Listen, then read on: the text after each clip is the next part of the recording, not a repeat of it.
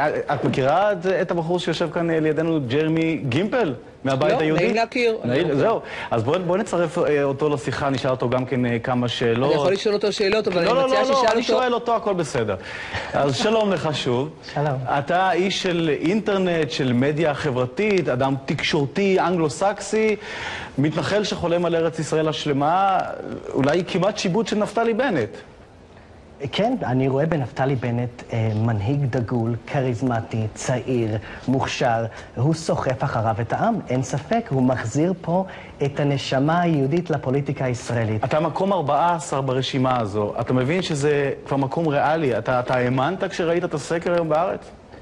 אמ, ראיתי כמה סקרים, ו-14 זה רק ההתחלה. אנחנו נהיה המפלגה השנייה בגודלה עד סוף הבחירות. יהיה ביבי ולידו הבית היהודי, ואנחנו נשמור על הליכוד טוב טוב. בלי כל הבלבולים שכן מדינה פלסטינאית, לא מדינה פלסטינאית, נקפיא בנייה בירושלים. אתם חושבים שבארצות הברית היו מקפיאים בנייה בוושינגטון? אתם חושבים שברוסיה היו מקפיאים את הבנייה במוסקבה? אנחנו יפה. נשמור פה על מדינת ישראל. וככה. האמת שבמבט ראשון אתה נראה מתון יותר מפייק. פייגלין, למשל, שמציע אה, כסף, אה, מיליון, סליחה, חצי מיליון דולר כדי שהפלסטינים ילכו מכאן. מהם ההבדלים הגדולים בינך לבינו ולליכוד בכלל? אני חושב שבליכוד יש אנשים נפלאים. הזכרת את זאב אלקין, את ציפי חוטובלי.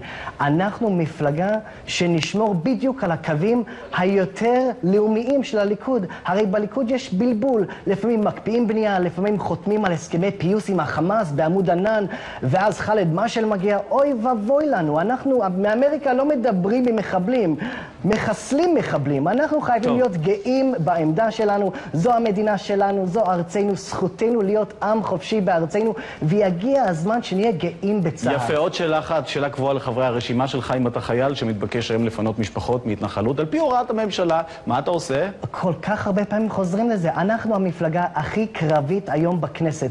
אני מפקד, הייתי בגבעתי, אני עדיין משרת במילואים, אני רק מחכה כל שנה למילואים כדי לחזור לחבר'ה. נפתלי בנט אמר וחזר ואמר וחזר שהוא נגד סירוב פקודה, אבל מה לעשות? כואב לנו להוציא יהודים מביתם. יפה. מה זה עזר לנו? בגוש קטיף זה עזר לנו, רק קיבלנו קסאמים, ואם נמשיך להיכנע לטרור, זה ימשיך להיות ככה. גימל, תודה רבה לך תודה. שבאת אלינו, מקום 14 בבית היהודי.